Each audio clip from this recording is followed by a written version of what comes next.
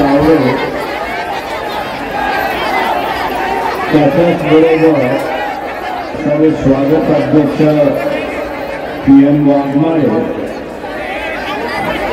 ज्यांनी आपल्यासमोर आपला सर्व वक्तव्य व्यक्त केला अशा असणाऱ्या रेखाताई ठाकूर अशोक सोनवणे शनिराज पाटील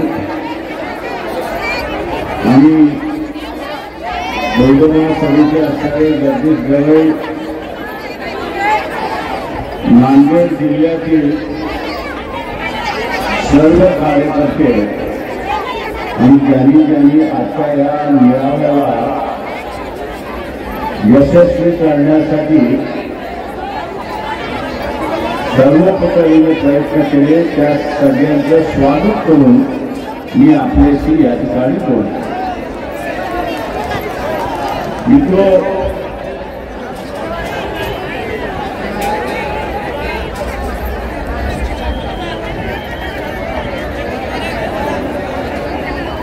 ते आलो खाली बस. मी खाली बसत माझ्यानं बोलावून करताय बसा. बसा.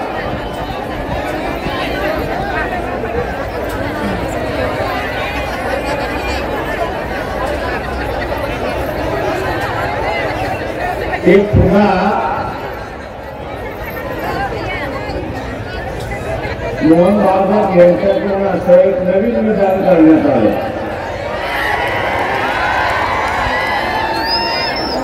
शांततेने जगायचं यांना माहीतच नाही.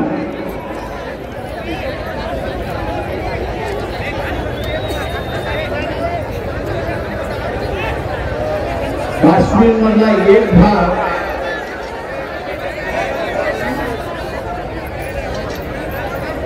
ज्याला पीओके आपण म्हणतो काश्मीर ऑक्युपाईड असा भाग म्हणतो तो घेता येत नाही.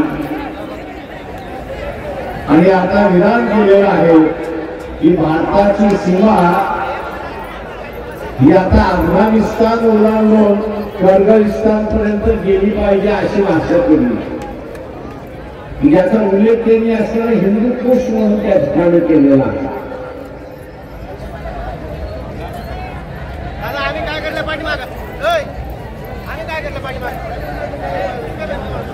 हे जगाला अशांत करायचं. आणि देशातल्या माणसाला भडकवायचं अशीच परिस्थिती चाललेली आहे.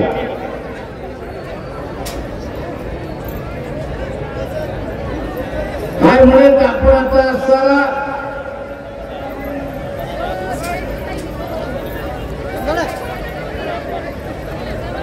जुना भारताचा नकाशा आणि तो आता भारताच्या अखत्यारीत आला पाहिजे. हा आपला सरळ नवा कार्यक्रम म्हणून आर एस एस टी क्लिअर केला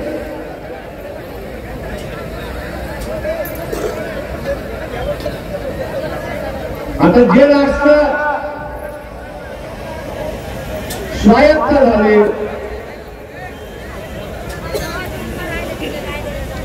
स्वावलीन झाले त्याचा तुमची गुलामी कसं व्यक्त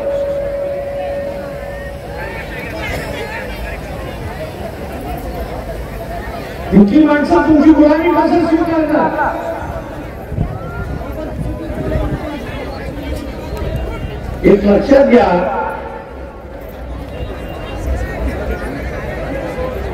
R S S Mohan Bhagwat.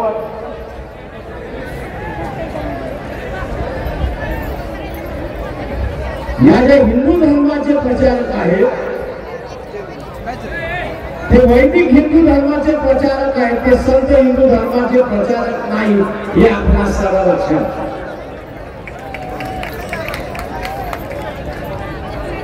हे वैदिक हिंदू धर्माचे प्रचारक आहेत.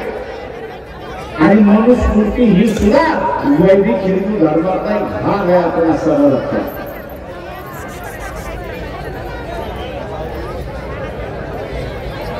भारतातल्या एका वर्गाला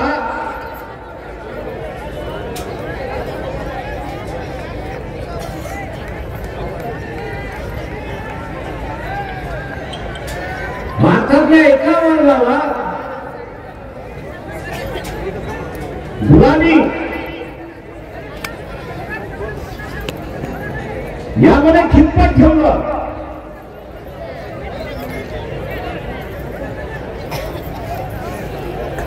काही काळ त्यांनी मान्य केलं.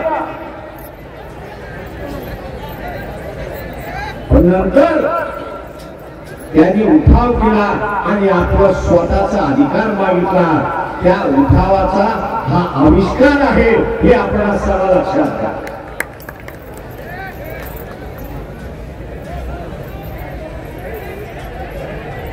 हा आविष्कार आहे. हे शांततेने राहण्यापेक्षा इथल्या सर्वांना अशांत ठेवायचं. आता ज्यांच्यावरती तुम्ही असं म्हणणार आम्ही राज्य करणार आहोत ते थोडी स्वस्त बसणार ते तुम्हाला सुद्धा अश्रद्धा दाखवतील आणि मग या देशामध्ये पुन्हा नव्यानं बॉम्ब्लास्टची संस्कृती आली तर अजिबात आश्चर्य मानू नका. कारण ते त्यांनी आणलेलं नाही तर इथल्यानेच खतपाणी घातलं हे आपण सर्व लक्षात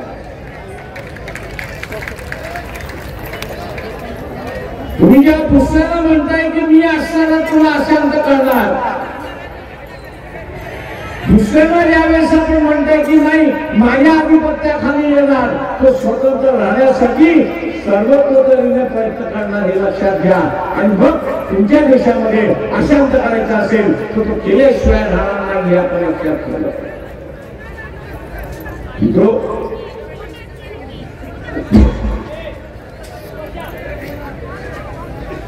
मित्रो यांना गुलामीशिवाय दुसरं काहीच त्यांना दिसत याला गुलामीशिवाय दुसरं काहीच दिसत नाही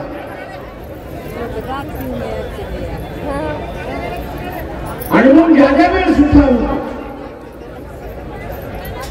ज्या ज्या वेळेस उठाव होतो आणि लक्षात येतं की हा आता उठाव आपल्या अखत्यारात राहणार नाही. किंवा बाबा आमच्या असणाऱ्या वाढ वडिलांनी व्यवस्था अशी निर्माण केली की ज्याच्यात असताना आम्हाला असताना पापातून मुक्त व्हायचं आहे. आणि सांगितलं.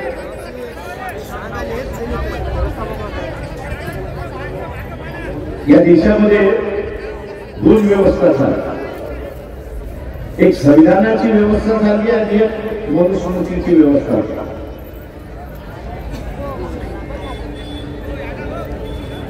एक संविधानाची व्यवस्था चालली आहे आणि एक मनुस्मृतीची व्यवस्था एक समतेची व्यवस्था आहे संविधानाची समतेची व्यवस्था आहे आणि मनुस्मृतीची ही असमतेची व्यवस्था आहे.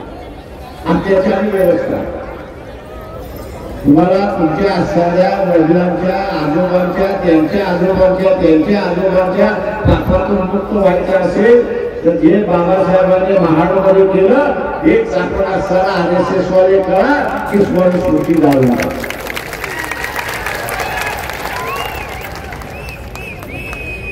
अजिबात आपल्याला दिसत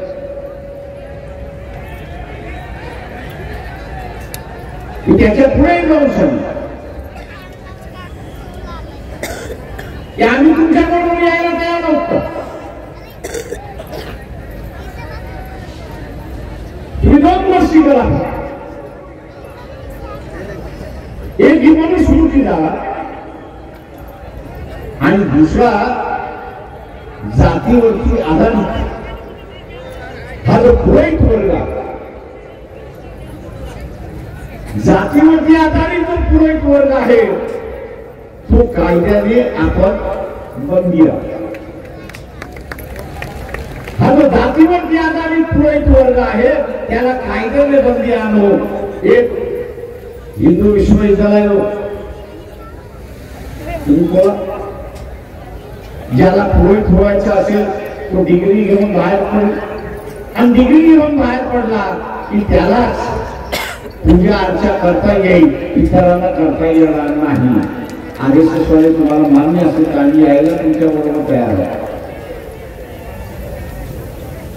श्रीमान्य तर आम्ही एका होती यायला तयार म्हणजे पुरोगामी काय म्हणतील काय म्हणणार नाही त्याची मला अजिबात कळलं नाही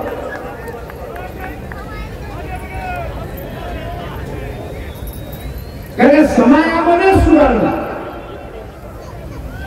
व्यवस्थेमध्ये सुधारणा.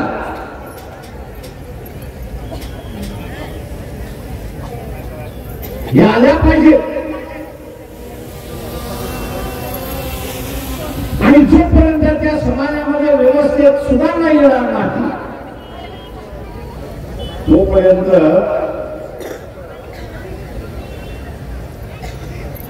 इथल्या स्वातंत्र्यवीराने मिळवलेल्या असणाऱ्या देशाची एकता ती टिकवता येणार नाही हे आपण लक्षात घ्या पूर्वीच्या काळी याच जातीय व्यवस्थेने पूर्वीच्या काळी याच जातीय व्यवस्थेने फक्त क्षत्रियांना लढण्याचा अधिकार दिला होता.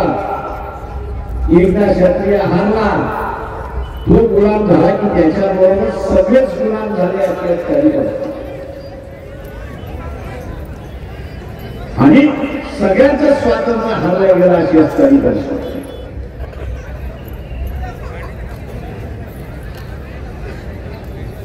शिवाजी महाराजांनी रयतेच्या हातामध्ये तलवार दिली आणि स्वतःचा असताना एक राज्य उभं केलं की ज्याची स्त्री आपण आता या ठिकाणी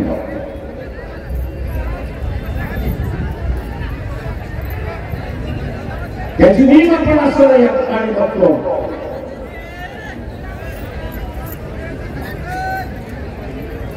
ही चालत राहावी. हाच प्रयत्न आपल्या या ठिकाणी असला पाहिजे. काँग्रेस पक्षाचे असणारे राहुल गांधी भारत जोडो यात्रा चालली चांगलं पण जोडण्याचा मुद्दा काय?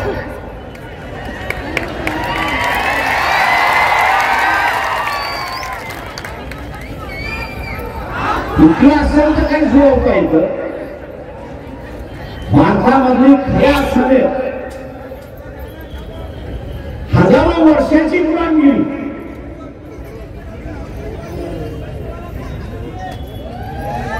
हजारो वर्षाची गुलामगिरी ही संपवायची असेल. या ठिकाणी आंदोलन जे पाहिजे हे म्हणजे जाती अंताचं आंदोलन इथे असतात आणि जोपर्यंत जातीचा अंत होत नाही जोपर्यंत जातीचा अंत होत नाही तोपर्यंत भारत जोडल्या जाणार नाही हे आपण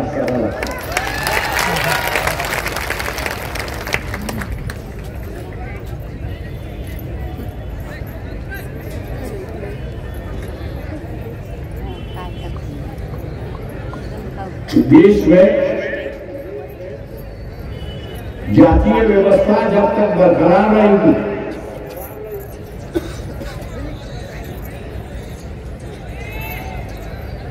तब तक देश जुड़ाया नहीं जा सकता। लोग आपस में लड़ते रहेंगे। और हो सकता है कि ऐसा एक वक्त आए। कि जहां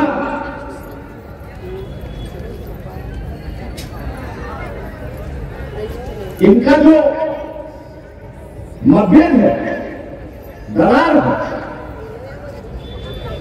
वो इतनी बढ़ जाए दूरी इतनी बढ़ जाए इसको कोई नेता मिटा नहीं सकता। आज हम लोग उसी रास्ते पे चले।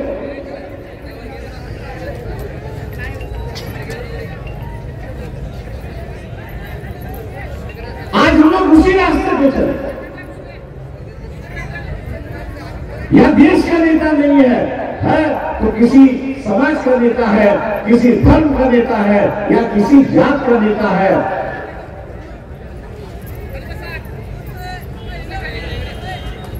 मुस्लिम समाज जो है मोदी पे विश्वास करने के लिए तैयार है। ना यहाँ का शुभकास्ट वो किसी व्यवस्था पर विश्वास रखने के लिए तैयार है।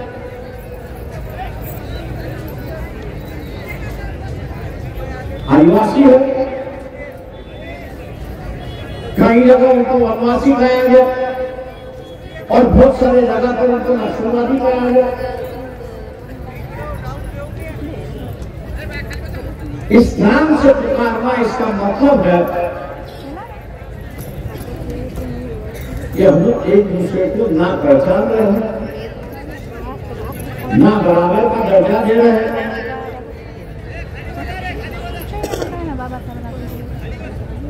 और ना हम एक दूसरे को स्वीकार आज मैं ऐसे परिस्थिति में मानता हूँ जो ज़रूरत है।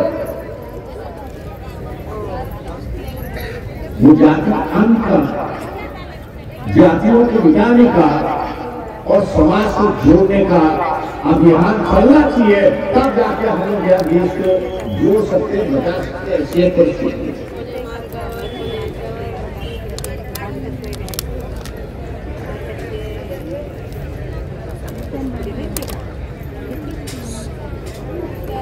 अभियान काढून. राहुल गांधी चालतात आहे त्याच्या असणारा कौतुक आहे. त्यांना ही लॉंग मार्च आम्ही सुद्धा काढली. तेव्हा त्या लॉंग मार्च मध्ये वीस वीस पंचवीस पंचवीस किलोमीटर चालताना काय त्रास होतो याची असणारी गाडी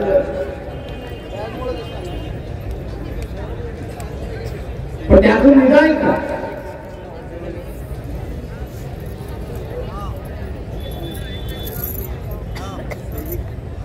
याचं विनायक काय दिसते विनायक आपल्याला काही दिसत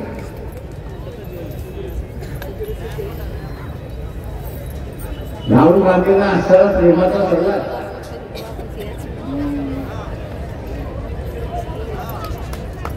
लॉंग मार्चने आपण असणारा एक आपल्याबद्दलचा विश्वास निर्माण केला ज्याच्याबद्दल जमत नाही. पण हा पाण्याचा असणारा बरोबर आहे. आतापर्यंत आहेत मार्च आहे तोपर्यंत हा बुडबुडा आहे. हा मार्च संपला की बुडबुडा संपला. आणि पुन्हा सुब्रमण्य स्वामी लोकांना दिसायला सुरुवात.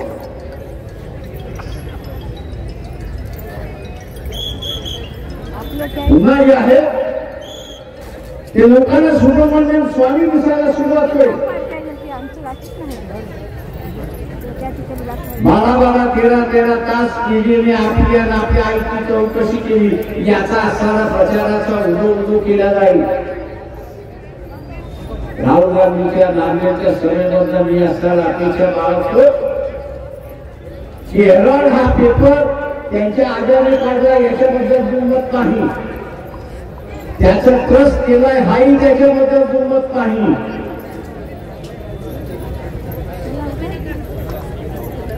हे माझ्यासारख्यालाही माहीत आहे.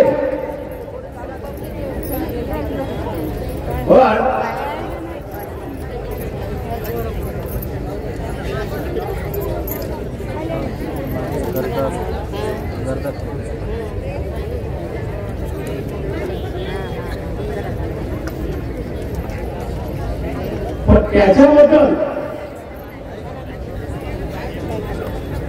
जो असणारा सुब्रमण्यम स्वामी प्रचार करतो त्याचा खुलासा आपण करणार होतो मी सुद्धा सामान्य माणूस आहे. त्याच्यातलं काहीच माहिती नसल्यामुळे.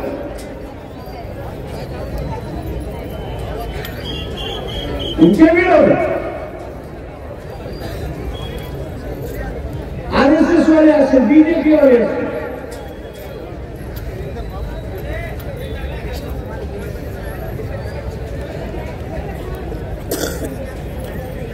अफवा उडवत असतात किंवा हकीकत मांडत असतील आम्हाला माहीत नाही.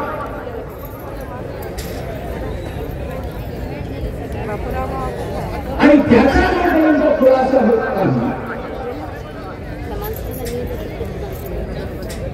आणि सामान्य जनतेला जोपर्यंत कळत नाही तोपर्यंत हा संभ्रम कायम राहील आणि हा संभ्रम कायम राहिला तर आपल्या असणाऱ्या चांगला नाही एवढं फक्त सल्ला मी आपल्याला त्या ठिकाणी मित्रो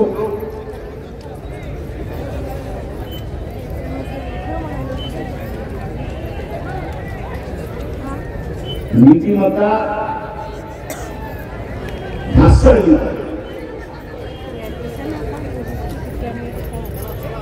आणि मग सत्ताधारी पक्षाकडून फार प्रयत्न केला जातो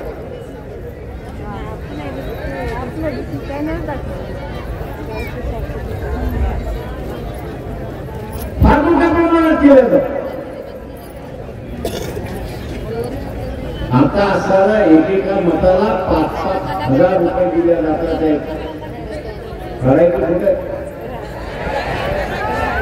खरं आता हे पाच हजार रुपये तुम्ही घेतले तर तुमची नीतिमत्ता कायम राहिली का?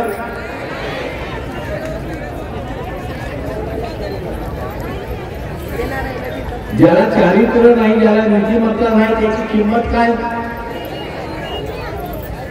काहीच नाही ना? हे तुम्हाला सगळ्यांना किंमतच राहिली म्हणजे अशीच परिस्थिती आहे ना.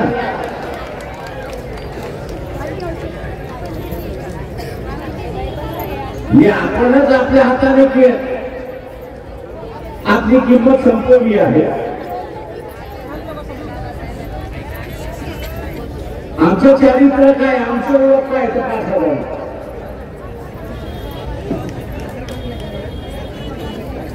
म्हणजे आमची ओळख काय? आमचं चारित्र्य काय तर पाच हजार रुपयाचं पाच हजार रुपये द्यावे तुम्ही कुठे मारून जावा अशी असता ही आमची अवस्था आहे.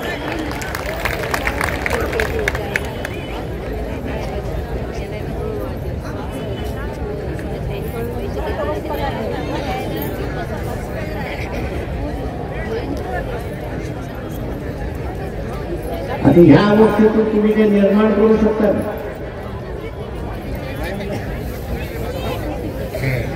नैतिकता आपण संपवून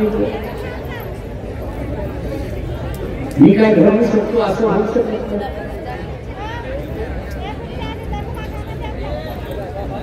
काँग्रेस पक्षामध्ये असणारी सुद्धा नैतिकता संपली जाता जाता अजून असणारा एक सल्ला राहुल लागलेला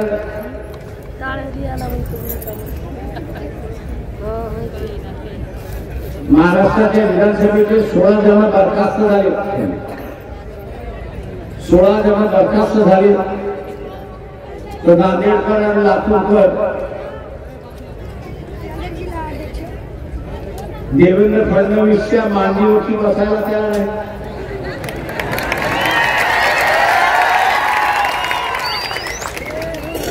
देवेंद्र फडणवीसला मसाला हलका आहे.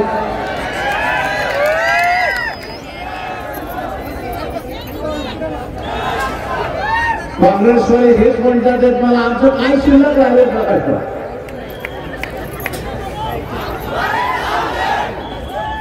आमचं काय शिल्लक राहिले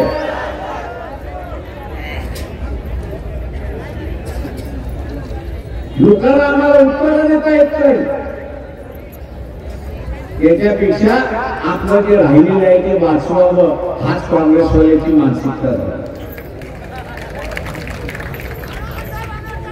आता त्यांच्याकडे तरी वाच वाचवण्यासारखं आहे. तुमच्याकडे काय वाचवण्यासारखं आहे? त्यांच्याकडे तरी वाचवण्यासारखं आहे बरंच आहे. दहा पिढ्या खाऊ शकतात एवढं वाचवण्यासारखं आहे? तुमच्याकडे आहे काय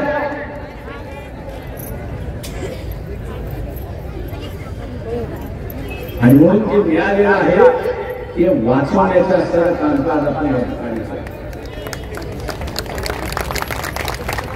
बाबासाहेब म्हणाले होते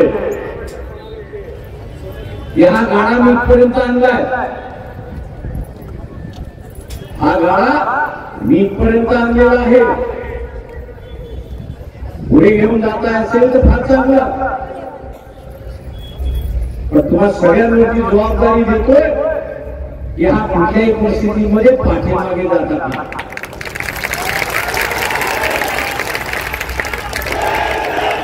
नाही. आता ही जबाबदारी तुम्ही पार पाडली आहे का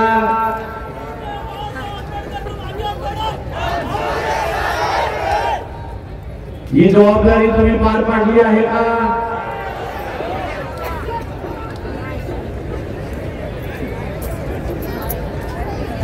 मग पार पाडली नसेल तर मग पुढची पिढी असणाऱ्या सुरक्षित कशी राहणार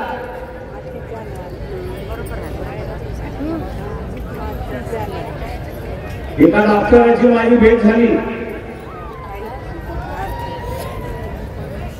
एका डॉक्टराची माझी भेट झाली. आणि तो म्हटला प्रकाश आता मला कशाचीच गरज नाही. म्हटलं चांगली गोष्ट मग म्हटलं आपण असणारी एक मागणी करू. की आरक्षण संपून टाका म्हणून ही आपण मागणी करतो गरज नाही तो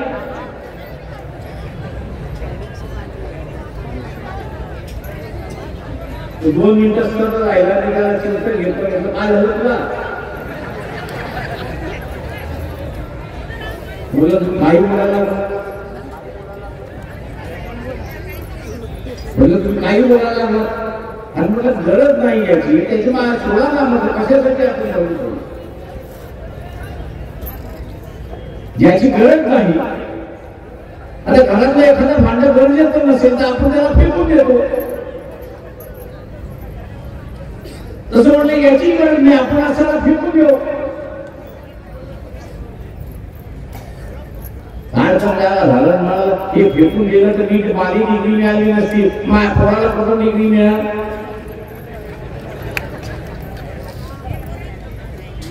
म्हटलं मग तू कसं म्हणायला सांगतो तर मला आता कसलीच गरज नाही. मला कसलीच गरज नाही. म्हणजे तुझं वाक्य काय? याचा अर्थ काय?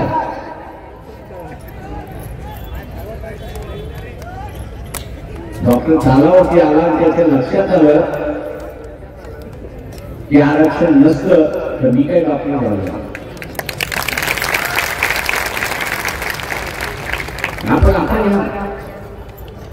तू आज आपण बीबी सिंगांच्या कालावधीमध्ये ओबीसीला आरक्षण द्या.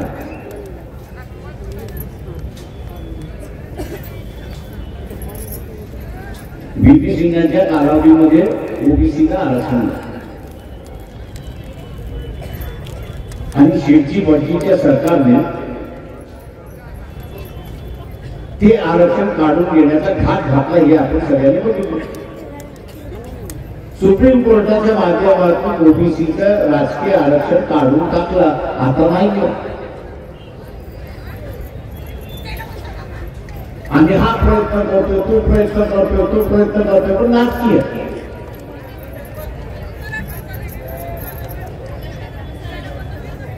तो नाटकीय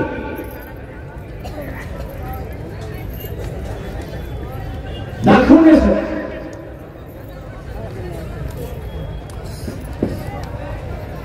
कुठेतरी असताना या ग्रामपंचायतीमध्ये असेल त्या ग्रामपंचायतीत असेल त्या नगरपालिकेमध्ये असेल या नगरपालिकेमध्ये असेल ओबी समूह ओबीसी समूहामधला नगराध्यक्ष होत होता महापौर होत होता नगरसेवक निवडून येत होता. आणि त्यातून स्वतःचा राजकीय वाटाचा मागत असं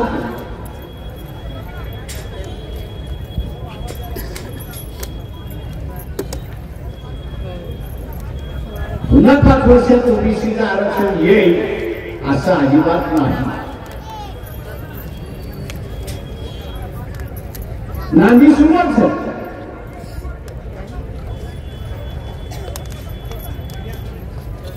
एका बाजूने अधिकार काढायचे आणि दुसऱ्या बाजूने लोकांची नैतिकता राहणार नाही आणि भ्रष्टाचार करायचा अशी असणारी परिस्थिती यांना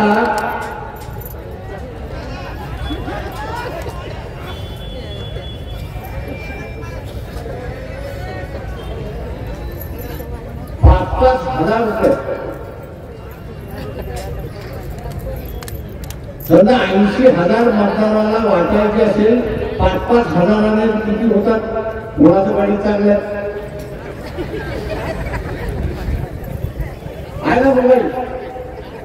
कॅल्क्युलेटर कर त्याच्यामध्ये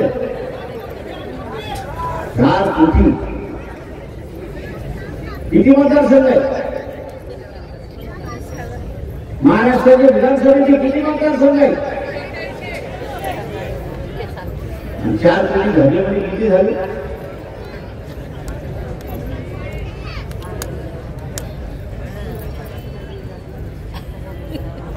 हा एवढा पैसा आला कुठून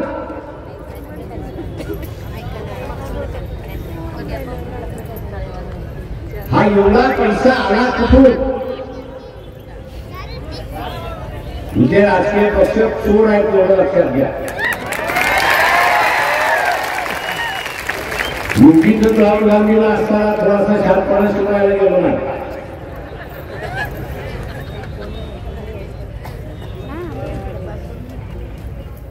त्यांनी काश्मीरपासून कन्याकुमारीला जाण्यापेक्षा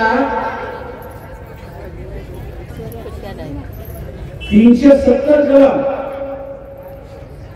हे रद्द केल्यानंतर मलेशियाच्या पंतप्रधानाने भारताची ही कृती चांगली नाही आणि आम्ही ती मान्य करत नाही.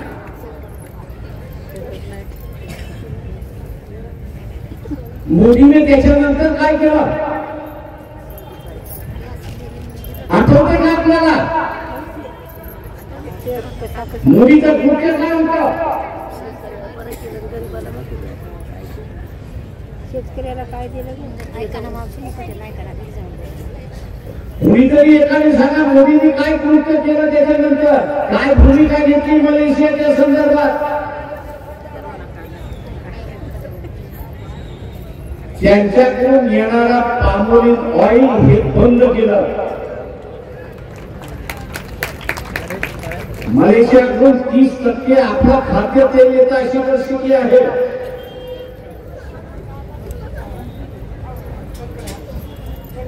याच्यामध्ये असणारा फार मोठा आर्थिक घोटाळा झालेला आहे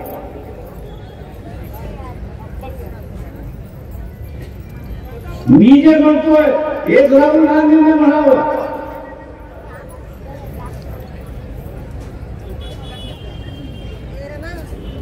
की पंतप्रधानाचा नरेंद्र मोदी यांचं स्टेटमेंट आल्यानंतर की मलेशियाच्या सरकारकडून आम्ही तेल खरेदी करणार नाही हे स्टेटमेंट देण्याच्या अगोदर पंचवीस दिवस अगोदर कुठल्या कुठल्या व्यापाराने मोठमोठ्या व्यापाराने मलेशियातल्या व्यापाऱ्यांबरोबर करारनामे केले होते.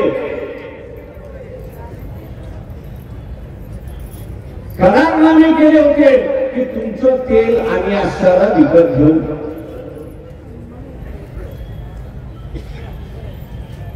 आंतरराष्ट्रीय कायदा असं म्हणतो की एकदा करारनामा झाला त्याचा निभाव लागतो. निभावं लागतं. आणि ज्यांनी निभावला नाही त्याचं नुकसान द्यावं लागतं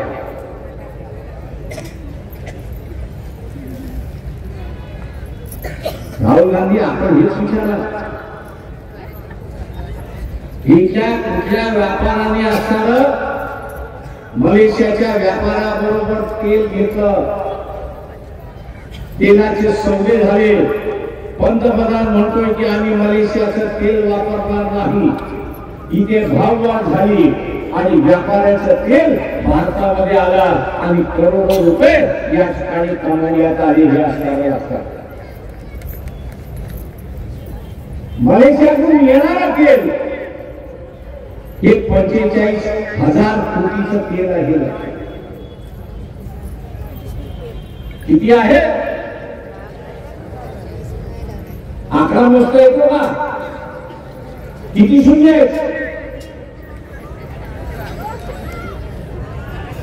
किती शून्य आहेत?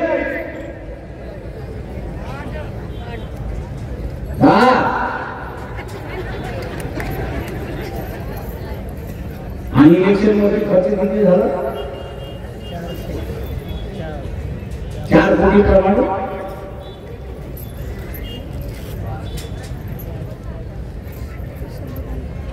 शिल्लक किती राहिलं?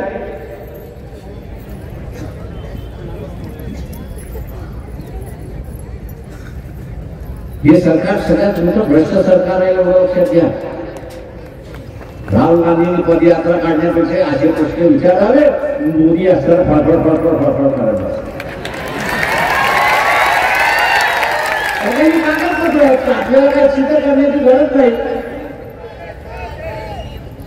गुजरात मधनं जास्त रेट केला आहे पोटबंदर मधनं कागदपत्र त्याच पोटबंदराच्या याच्यामध्ये इंटरनेट वरती गेला तर तुम्हाला मिळून जाईल सगळी कागदपत्र. काही शोधण्याची गरज नाही. भाववाढ किती झाला? हे तर आपल्याला स्वतःला माहिती आहे. हे सामान्याचं सरकार नाही. हे सामान्याचं सरकार नाही. हे लुटारूचं सरकार आहे हे आपण लक्षात घ्या. राहुल गांधी हे लुटारू कमी आहे हे मांडायला तुम्ही असताना शिका मास्क काढण्याची काही गरज नाही. लोक तशीच तुमच्यावरती विश्वास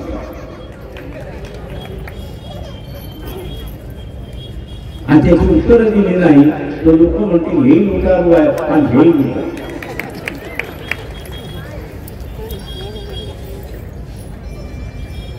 माझं आव्हान आहे आपल्यासाठी.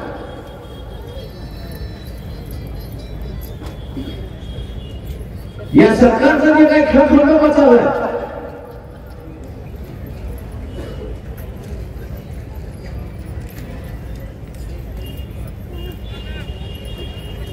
तो खेळ खंडोबा काँग्रेसला मांडू शकणार नाही कारण एका काही तेही या खेळ असणारे हिस्सेदार होते.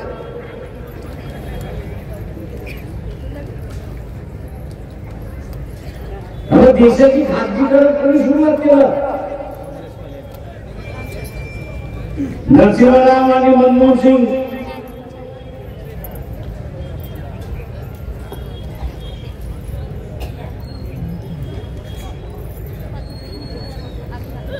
खाजगी व्यापाऱ्याला तेल आणता येत नव्हता. तर ते किती येईल? याचा निर्णय? एक एसटीसी नावाची असं संघटना आहे केंद्र शासनाची स्टेट ट्रेडिंग कॉर्पोरेशन ती ठरवायची किती माल येणार किती नाही.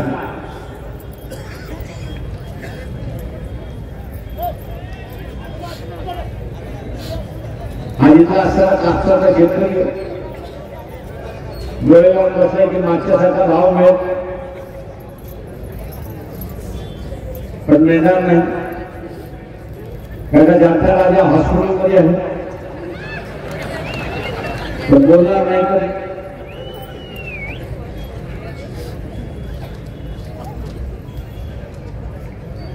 भाव आजही कापसाचा सोळाशे रुपये बारा हजार रुपयापर्यंत गेला पाहिजे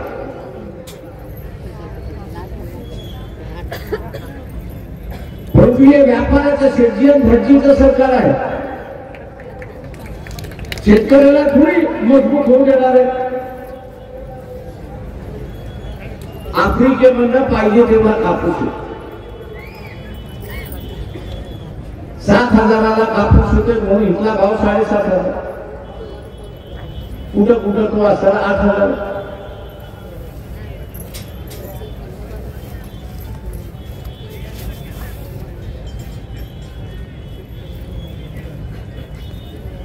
म्हणून गांधींनी असताना विचारावं किंवा तुम्ही असताना हा कापसाचं इम्पोर्ट करण्याचं लायसन्स का दिलं? याच्या अगोदर नव्हतं कापूस आयात बंद केला इम्पोर्ट बंद केला तर कापसाचा भाव बारा हजार रुपये जाणार आहे. परंतु इथला असताना शेतकरी संघटना सुद्धा बोलवणार नाही का का त्यांनी एका काळी गॅसला पाठिंबा दिला. आणि इथला शेतकरी स्वतःच्या शेतीपेक्षा जातीच्या सत्तेला अधिक महत्त्व देतो.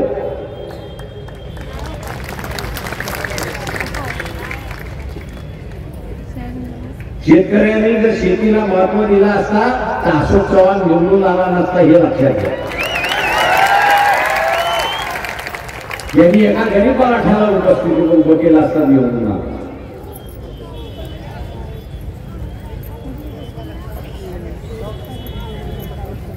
उसाचा शेतकरी आहे.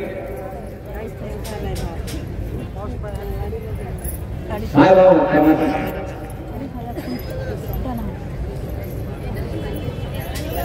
किती बावीसशे नक्की।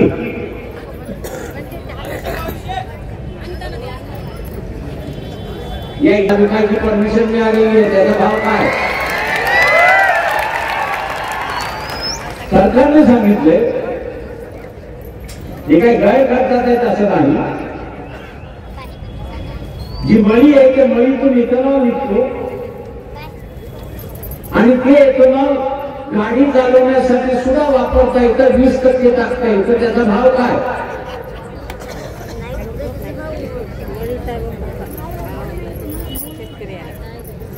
पेट्रोल पंपवरती जाऊन बघा मी सांगणार. आणि मागच्या वर्षाचा भाव ही परिस्थिती आहे आणि म्हणून आपली नीतिमत्ता असणं हे सगळ्यात महत्वाचं विचाराशी बांधिलकी असणारं हे महत्वाचं जिथे विचार विचाराशी बांधिलकी नाही आणि जिथे नीतिमत्ता नाही तिथे माणसं वाहत जातात अशी असणारी परिस्थिती आहे. मग कोण पाच हजार देतात कोण सहा हजार देतात देणारा पण माझी दोन दिवसाची दिवाळी त्याच्यामध्ये होतो. त्याच्यामध्येच मी आनंद मानतो. आणि उरलेले साडेचार वर्ष हे मी कितपत करतो अशी असणारी मला आव्हान आहे आपल्या सगळ्यांना. ही एक संकट येते. याचा उल्लेख अनेक जणांनी केला. गुजरातच्या इलेक्शन पर्यंत आठ डिसेंबर पर्यंत आहे.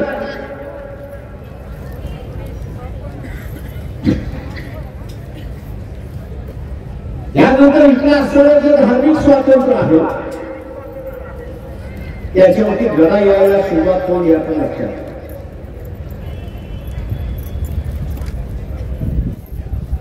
त्यानंतर या धार्मिक स्वातंत्र्य अडचणीत यायला सुरुवात होईल आपण लक्षात घ्या आणि दुर्दैवाने तुमच्या राजकीय पक्षाने याच्यावरती बोललंच नाही असे अत्यंत मी अपेक्षा बाळगतो राहुल गांधींनी की नांदेड नांदेडमध्ये राजेंद्र पाल नावाचा असणारा जो आजचा मंत्री होता तो दीक्षा समारोहाच्या कार्यक्रमाला उपस्थित होता. तिथे बावीस प्रतिज्ञा वाचल्या वाचण्यात आल्या आणि आपली त्याला मंत्रिमंडळातून काढून तुम्ही काहीतरी बोला. या बाजूने त्या बाजूने जे काही बोलायचं असेल ते बोला.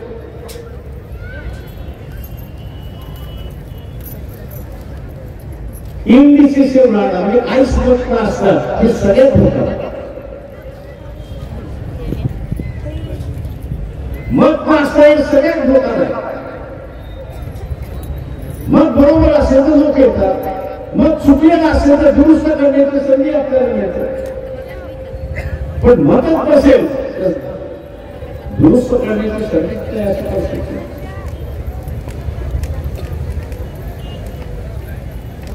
आणि म्हणून मग ह्याला पाडेल पण त्याला पाडेल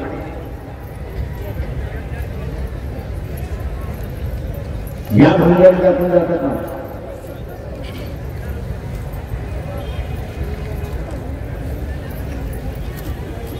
कोणी याला पाडेल त्याला पाडेल आणि आपण वाचू अजिबात हे राजकारण चालत नाही.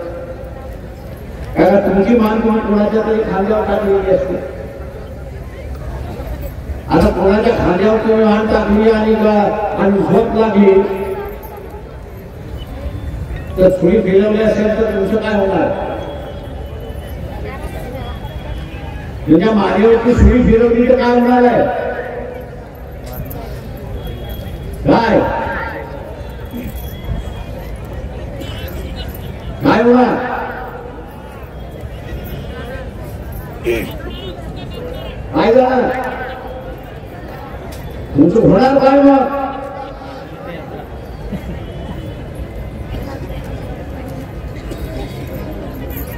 मग रामनाम सत्य एवढंच करावं लागेल.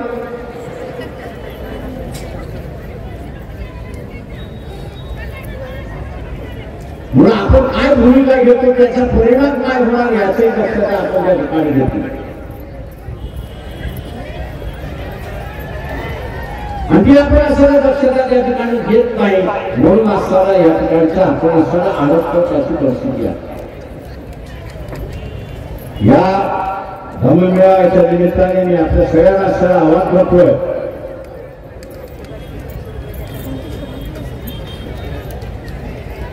की आपल्याला असताना हा जाती अंताचा लढा हा सुरुवात करायचा आहे सुरुवात केला आहे.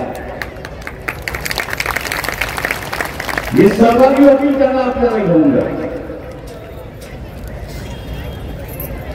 जे सहभागी होतील त्यांना आपण घेऊन जायचं आहे. पण ते घेऊन जाण्यासाठी माझी निष्ठा माझी भूमिका आणि माझं चारित्र्य हे स्वच्छ असलं पाहिजे. आणि ते आपण ठेवाल. या अपेक्षा बाळगून मी आपल्याला घेतो. या वेळ घ्यावा धन्यवाद.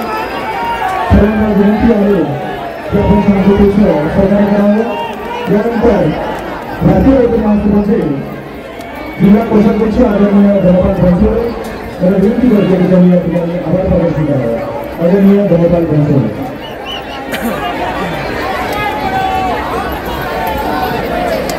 भारतीय बौद्ध महासभा आयोजित धम्म मेळावा या मेळाव्याच्या निमित्तानं उपस्थित वंचित बहुजन आघाडीचे श्रद्धे नेते डॉक्टर बाबासाहेब आंबेडकर यांनी आपल्याला आपल्या जिल्ह्याला अमूल्य असा वेळ दिला त्या त्याबद्दल आदरणीय बाबासाहेब आंबेडकरांचे मी या ठिकाणी हार्दिक हार्दिक आभार व्यक्त करतो आदरणीय याप्रमाणे आदरणीय आंबेडकर आंबेडकर आदरणीय संजीवा पाटील आदरणीय रेखाताई ठाकूर आदरणीय अशोक सोलानेंनी आणि अशोक मुंडेकर वंचित बहुजन आघाडी केंद्रीय पदाधिकारी तथा महाराष्ट्र राज्याचे पदाधिकारी भारतीय बौद्ध महासभेचे राष्ट्रीय राष्ट्रीय घटक राष्ट्रीय उपाध्यक्ष आदरणीय जगदीश गवई साहेब महाराष्ट्र राज्याचे प्रतिनिधी आदरणीय संभाजी गवळे साहेब भारतीय बौद्ध महासभा जिल्हा शाखा नांदेड तथा वंचित बहुजन आघाडीचे महाराष्ट्राचे पदाधिकारी आदरणीय सर्व महाराष्ट्राचे वंचित बहुजन आघाडीचे पदाधिकारी तथा भारतीय बहुजन आघाडीचे जिल्हा शाखा नांदेड